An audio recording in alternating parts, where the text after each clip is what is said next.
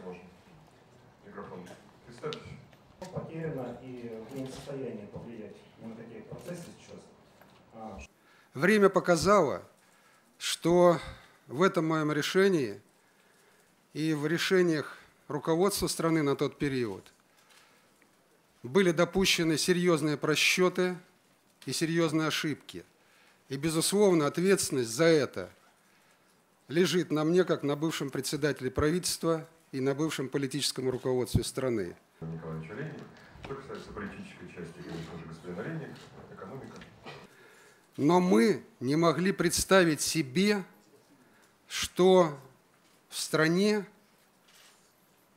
силы, которые захватили власть посредством государственного переворота, развяжут кровопролитнейшую войну, начнут проводить политику уничтожения своего собственного народа, разрушения экономики.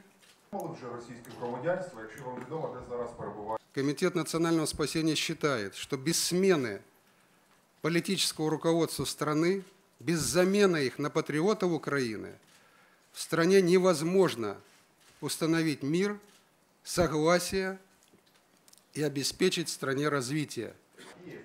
Владимир Старков – это российские кадровые военнослужащие, солдаты. Спасение Украины в наших с вами руках. Никто, кроме нас, эту задачу не решит. Не пускайте своих детей на войну, как не пускают своих детей те, кто при власти.